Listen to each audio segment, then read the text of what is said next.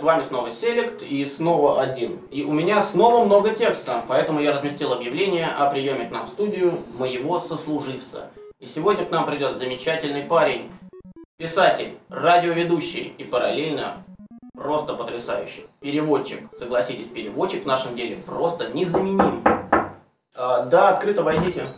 Здравствуйте, вы Селект? А, да, мы вас заливаем. Нет, я по объявлению. А, вы, наверное, там вот дальше пройдете, там в соседнем подъезде очередь, вот точно не прогадаете.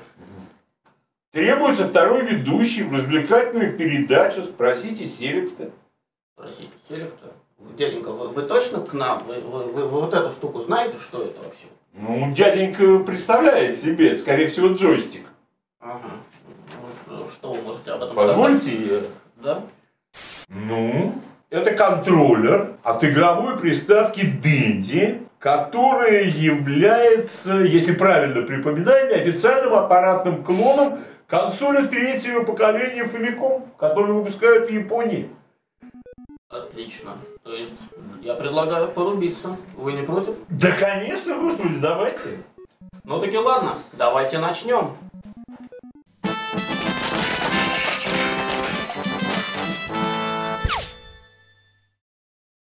Дорогие друзья, сегодня мы с вами перенесемся, ну, я не знаю, на 20, 25, 30 лет назад, когда во всех видеомагнитофонах страны зажевывались пленки кассет с лучшими боевиками прошлого. Это были крутые мега-блокбастеры. А главное, что герои этих блокбастеров, еще даже когда слово блокбастер не было так популярно, перекочевали на всеми любимые нами консоли. Начнем мы наш рассказ с персонажа, чей пик популярности пришелся на 90-е годы, когда вышли три фильма о нем и несколько сериалов. Мы поговорим о роботе-полицейском, который защищает Детройт. Присаживайтесь поудобнее, мы сейчас расскажем вам все о трилогии Робокопа. А также затронем четвертую часть, которая так и не увидела свет.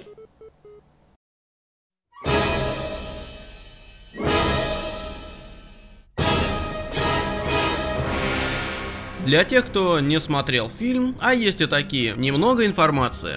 Игра Робокоп основана на одноименном фильме Пола Верховена. История повествует нам о том, как полицейский Алекс Мерфи был убит бандитами при выполнении служебного долга, а затем при помощи новейших технологий его мозг был перенесен в тело робота. Страж закона воскресает, чтобы раз и навсегда навести порядок на улицах родного Детройта. Так как фильм был успешен, игра по мотивам не заставила себя долго ждать. Оригинальная аркадная версия вышла в 1988 году. Она полностью повторяла события фильма, воспроизводя сцену за сценой. Разработкой занималась уже известная нам Data East, а также компания Neon Busen. Портами же на домашние консоли занялась Ocean Software. И если остальные версии были более-менее ничего, то Дэнди повезло куда меньше. Ocean не стали заморачиваться над разработкой игры сами и спихнули весь процесс маленькой студии Sakata Says. Получилось, собственно, это. Робокоп во всеоружии ходит по Детройту и наказывает каждого, кто переступает черту закона. А переступают ее, как вы можете догадаться, буквально все. Вы можете переключаться между пистолетом и кулаком, а также собирать более мощное оружие. Зачем кулак, спросите вы? Да просто некоторых врагов проще победить именно в кулачном бою, быстрее будет. Нападать будут не только бандиты, но и немецкие овчарки, которые, видимо, твердо намерены расстаться с зубами. Как вы помните, баночки с детским питанием для вас здесь играют роль жизни. Кушайте на здоровье. О первом боссе вообще сказать нечего. Дурак еще тот полез на киборга голыми руками. На моей памяти не было еще ни одного человека, которому бы удавалось уложить киборга голыми руками. Робокоп спасает мэра, предотвращает сделку по продаже наркотиков на заводе, сражается с роботом АД-209 и отправляется на промышленный завод, чтобы отомстить за свою смерть. Между уровнями вы можете отточить мастерство стрельбы тире полицейского участка. За очень хороший результат можно получить годовой запас детского питания, так что старайтесь. Что еще можно сказать? Игра по мотивам, но вы об этом узнаете только дойдя до середины. Но фанаты были рады порубиться в игрушку о любимом герое, пускай и не самую удачную. А вот что касается второй части Робокопа, вышедшей через два года, то тут есть ряд существенных и приятных отличий. В этот раз Data East сами занялись разработкой игры и эффект, на удивление, приятный. С первой же минуты вы чувствуете ту самую мощь и тяжесть, которые свойственны персонажу. Сюжетом мы знакомимся перед каждым уровнем, получая небольшие сообщения из полицейского участка. Вы можете попасть на бонусные уровни, где придется взламывать шифры, собирать пазлы с лицом Алекса Мерфи или уничтожать наркотик Нил. Местность уже знакомая, неблагоприятные улицы Детройта и промышленная зона. Большой акцент здесь на двух задачах – уничтожить емкости с наркотиками и отстреливать преступников.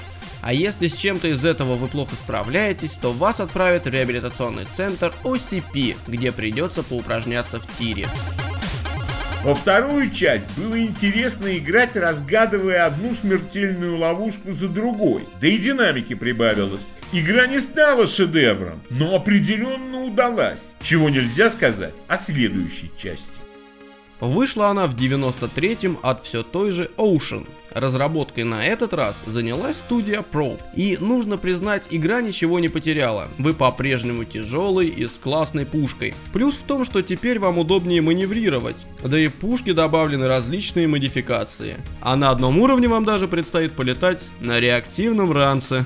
На протяжении четырех уровней вы активно следуете трем директивам. Служить обществу, защищать невиновных, охранять закон. В отличие от трех законов робототехники Айзека Азимова, здесь вы просто обязаны применять грубую физическую силу, и чем больше ее будет, тем лучше. В конце каждой стычки с врагом нужно уделить время ремонту вашей брони. А если здесь на вас снова нападет сумасшедший безоружный, то не спешите расслабляться. Из фильма сюда перекочевали роботы-самураи. На последнем уровне не старайтесь их перебить. Лучше сразу направляйтесь к главному терминалу, чтобы загрузить код, который перепрограммирует врагов и взорвет здание ко всем чертям. Что до саундтрека, то мелодия стала крайне популярной и не раз была замиксована. Сама же игра такой популярности не получила, а жаль. Ну и напоследок, как мы обещали, четвертая часть кибер-эпопеи. На этот раз игра сделана по мотивам серии успешных комиксов «Робокоп против Терминатора». Комикс был с удачным, пусть и незамысловатым сюжетом. Даже поговаривали о создании киноверсии, но в итоге видеоигра – это максимальное, на что осмелились авторы. Многим больше известны версии для Sega Mega Drive и Super Nintendo, о них мы с вами еще когда-нибудь поговорим. Для Dendy же игра так и не была выпущена, по причине того, что приставка отживала свои последние годы. Да и сами разработчики признали ее безыдейной и примитивной. В сравнении с зубодробительными версиями для старших консолей она ничем не могла привлечь игрока. Но если ваш джойстик не дрогнет перед неизведанными тайнами, которые были похоронены и скрыты навеки от людских глаз, то вы с легкостью найдете эту игру на просторах интернета в рабочем состоянии.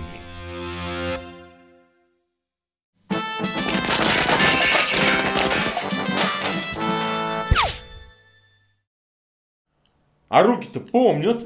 А, простите, а на каком радио вы работали? Милицейская волна. А, может, полицейская? Ой, 2000 год. Тогда была милиция, полиции в помине не было. Просто голос ваш, ну, просто, ну, не знаю, прям как в крови сидит знаком, не могу вспомнить. Да... А вы с боевиками как вообще имели дело? Вы имеете в виду с кинобоевиками? С кинобоевиками. Очень люблю и дело имел. То есть вы жгли по полной? Ну, скорее в тылу работал. В тылу. Герой нашего следующего мега-блокбастера относится к своему жанру прямо вот как прародитель этого популярнейшего направления. Warner Brothers Pictures и фирма Acclaim представляют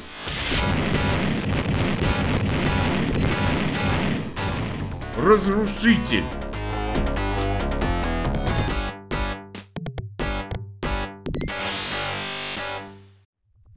Лос-Анджелес, 1996 год. Только маньяк поймает маньяка. Руки вверх. Игра получила куда большую популярность, чем сам фильм. Хотя для своего времени фильм был здоровским боевичком. Как только вы спрыгнули с вертолета на крышу, начинается сплошной экшен. На уровне полным-полно тайников, где припрятаны боеприпасы и аптечки. В вашем арсенале имеются пистолет, пулемет, гранаты и прочие приятности. Все, что найдете, все ваше. Только в кураже не полите во все подряд, а то ненароком заденете взрывчатку, которая имеет привычку прятаться в самых темных местах. Именно из-за нее и происходит крушение всего здания, при котором погибают захваченные в плен заложники. Конечно, не без участия террориста и по совместительству вашего главного врага Саймона Феникса. Смерть ни в чем не повинных граждан вешают на вас. Дескать, ваши методы работы хоть и эффективны, но весьма разрушительны.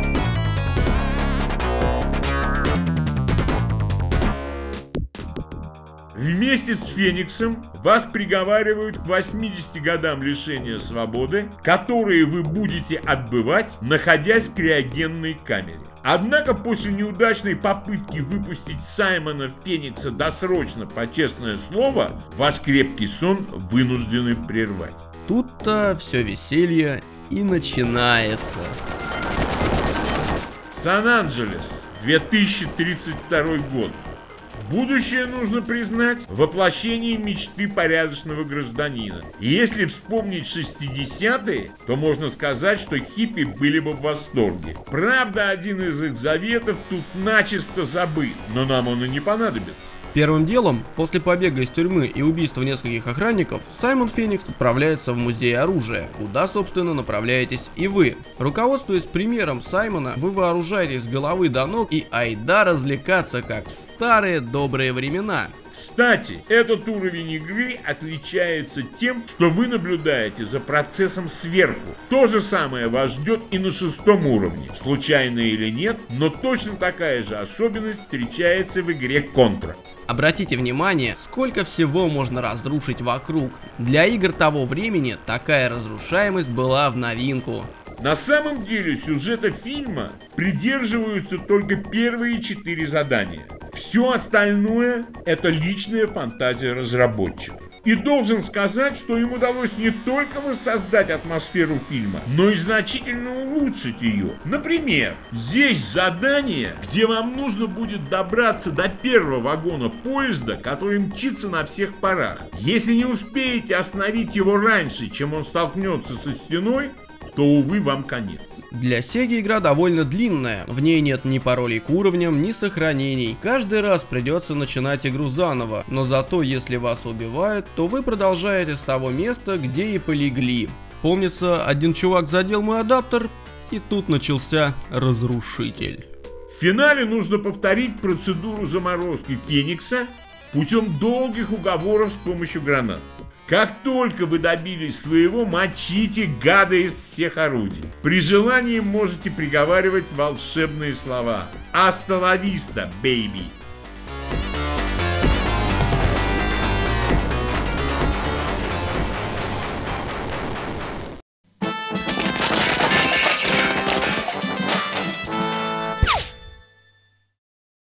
После недавнего проката нового фильма о судье Дредди возник спор. Какая же версия наиболее точно отражает суть персонажа? Да, мы с вами обратимся к игре, которая была сделана по версии фильма 95 года. И хороша она тем, что большая часть сюжета основана на комиксах, которые как нельзя лучше могут показать борьбу вот этого бесстрашного бойца с преступностью. Согласен.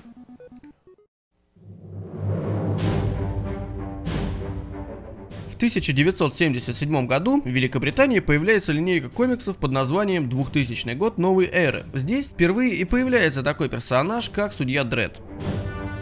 Из комиксов мы узнаем, что Дред – это клон, созданный из ДНК самого первого судьи. Его лицо скрыто шлемом и никогда не показывалось, что означало «безликое правосудие». Комикс привлекал читателей смелыми сюжетами с политической сатирой, черным юмором и обильной жестокостью. Шли годы, вселенная судьи Дреда разрасталась, и он набирал популярность. Вслед за фильмом 95 -го года вышла одноименная игра, которую сразу же смели с полок. Правда, счастливые обладатели Сеги или Супер Нинтенды были немного озадачены. Дело в том, что фильму игра следует лишь в начале. Основная ее составляющая позаимствована из оригинального комикса. Здесь вам будут встречаться призраки, киборги, темные судьи и множество других злодеев. Эта игра самая настоящая бродилка.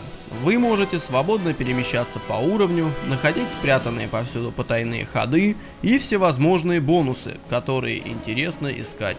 При столкновении с противником есть два варианта развития ситуации. Первый, как и полагается, арестовать нарушителя, сказав что-то вроде «Эй ты, оружие на землю, руки за голову!» Тот-то же! На крайний случай есть второй способ, хотя за этот дают меньше очков. Потому что по правилам системы судей летальный исход не приветствовался. Те нарушители, пол под ногами которых подсвечивается, заражены призраками. Они не подлежат аресту и должны быть ликвидированы. Приятно то, что манера поведения каждого противника индивидуальна, так что договориться будет непросто. Игра довольно длинная и запутанная, за один присест не пройти, так что после прохождения каждого этапа записывайте пароль. Особенно это касается последнего уровня, поверьте на слово. Мэр и жители мегагорода 1. Меня нужно бояться только нарушителям закона. Я и есть закон. Я вернулся. И лучше вам в это поверить. Игра рекомендуется именно поклонникам комикса о судье Дрейде. Помните об этом и не нарушайте закон.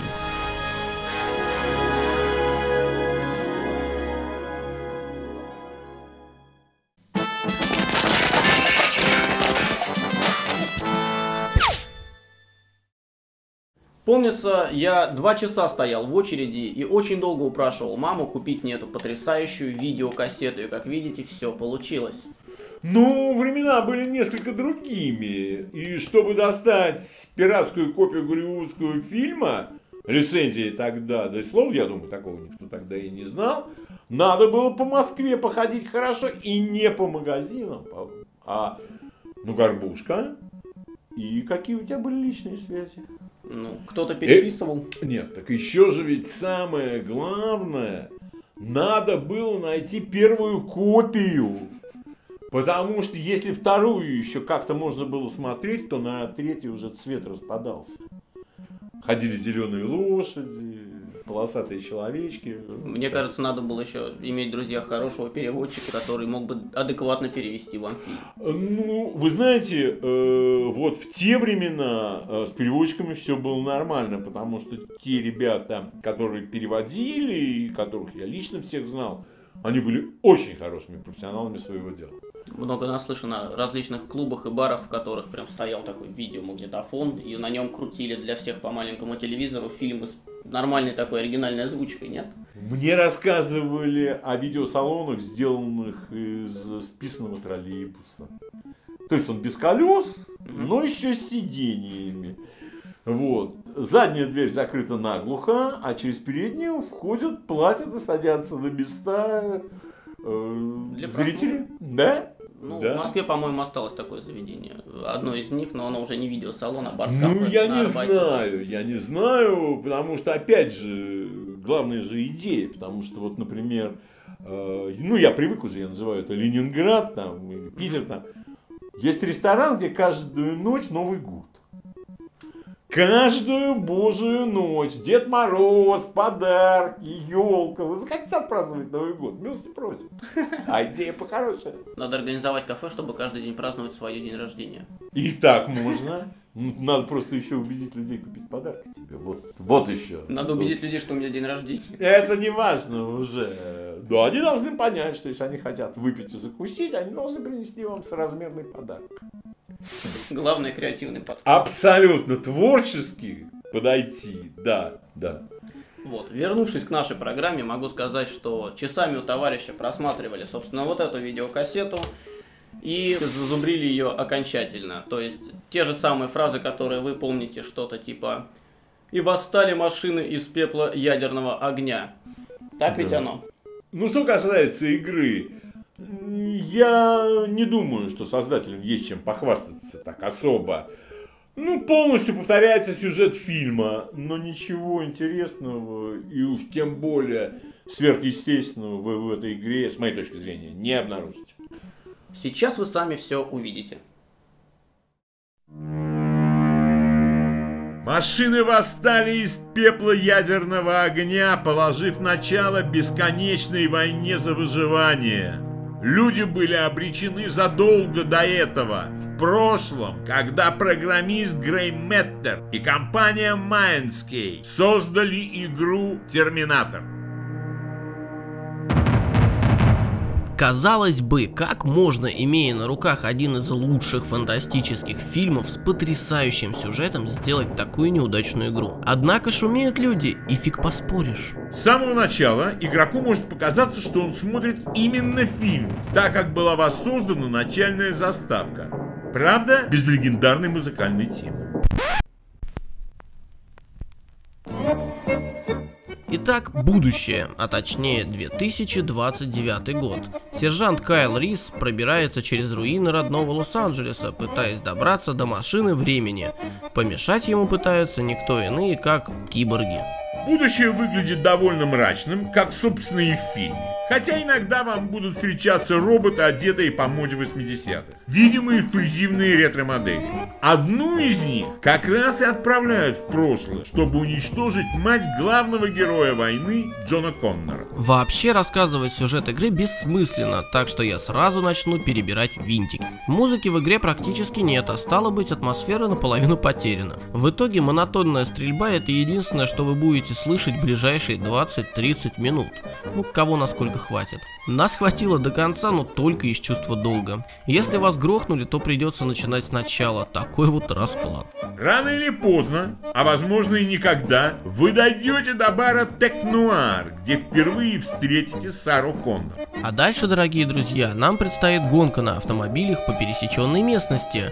Причем пересеченной настолько, что это прямо не Лос-Анджелес, а ближайшее Подмосковье, сплошь дорожные работники и колдобины по бокам. Дойдя до полицейского участка, вам снова придется поплутать по этажам, заглядывая в каждую дверь в поисках Сары. Время от времени, пробивая стены, появляется терминатор с известным лозунгом «Я вернусь». Найдя таки свою спутницу, вы переходите к финальной погоне, минуя сцены в мотеле. И снова ночь, погоня, ремонт и терминатор.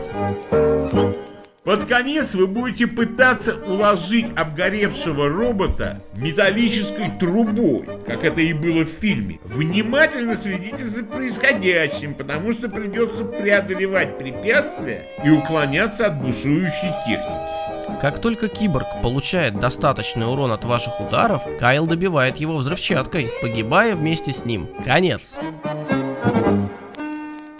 Да, сцену с гидравлическим прессом забыли, а ведь она была даже в версии игры для Дэнди, которая сама по себе считается самой неудачной игрой про Терминатора. Итак, подведем итог. Ни в коем случае, повторяю, ни в коем случае не играйте в это. Лучше потратьте время на более полезные дела. Уберитесь в комнате, сходите погуляйте, сходите на природу, в музей, в театр, ну или посмотрите сам фильм.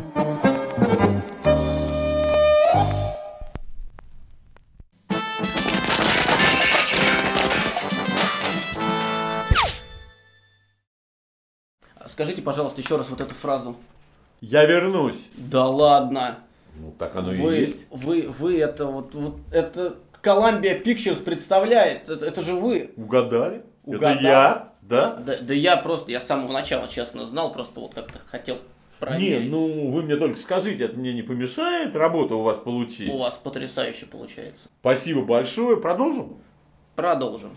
Шварценеггер возвращается, как он и обещал. И возвращается он не как герой Терминатор, там, супермашина-убийца. Нет, он возвращается как агент специальной службы Соединенных Штатов по борьбе с терроризмом. Это правдивая ложь. Еще раз, можно вот? Правдивая ложь. Боже, как это классно. Вы мне льстите. Даже если вы не смотрели фильм, вам не составит труда здесь сориентироваться. Игра напичкана кадрами из фильма и диалогами с начальством, проясняющим происходящее. До полноценного сюжета, правда, не дотягивает, но это и не главное.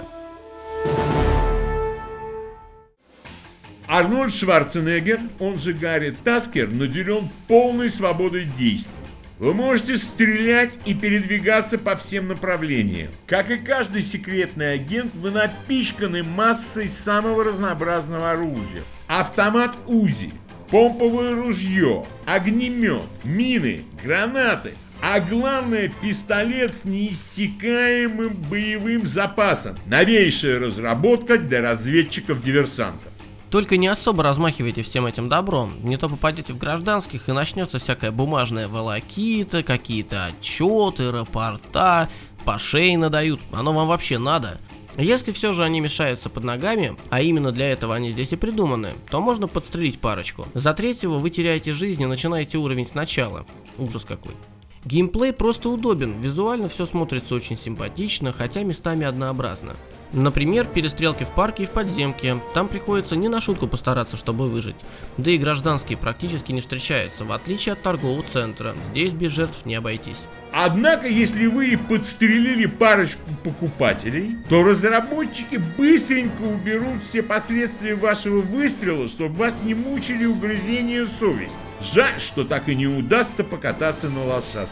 Зато позже вы вдоволь насладитесь полетом на истребителе. Отличная трехмерная модель самолета и полная разрушимость всего, что едет по мосту. В полной мере дадут вам почувствовать себя героем фильма. И, конечно, кончается все грандиозной перестрелкой на небоскребе. Гарри спасает свою дочь Дану, наказывает всех террористов за плохое поведение на территории Соединенных Штатов и выпускает бедного Абдула Азиза в последний полет на ракете. Хэппи-энд, друзья.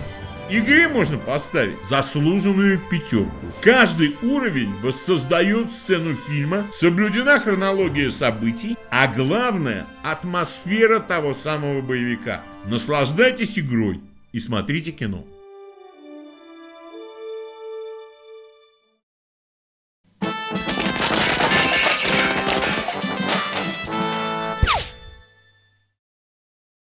Мы вас берем, мы, мы вот сто процентов, я вот от себя с огромной честью заявляю, программу эмуляторы теперь будут вести ваш покорный слуга Селект и этот замечательный человек, лучший в своем роде, как вас по имени отчеству? Можно просто Леонид. Пр- просто Леонид и просто я, просто будем вести программу на голом энтузиазме. Стоп!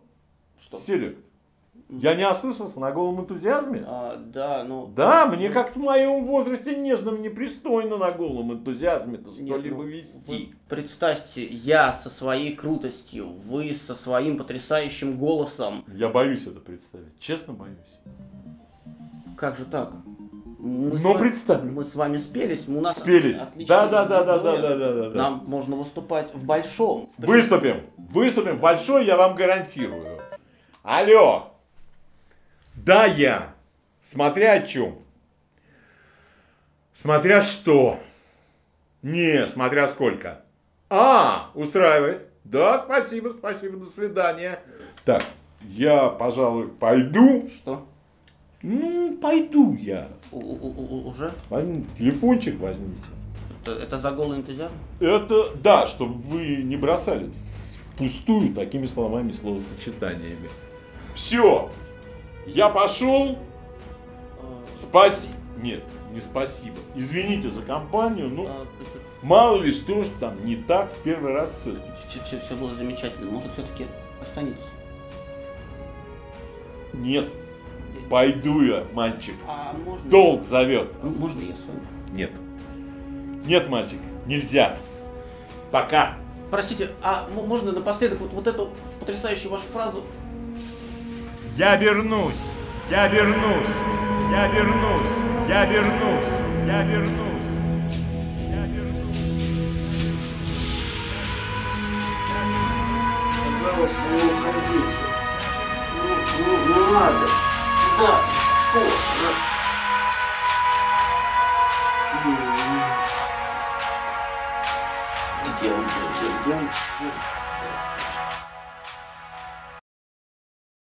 Алло? Кто? А какое? Какое сегодня число? 23 Ага. Э, давайте 8 марта. Да. Договорились. Все. Так, а где Леня? Леня! Леонид!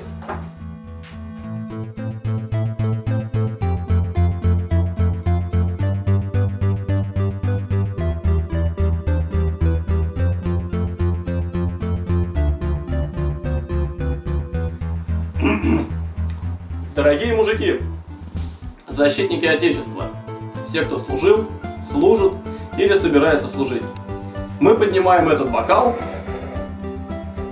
за вас, оператор.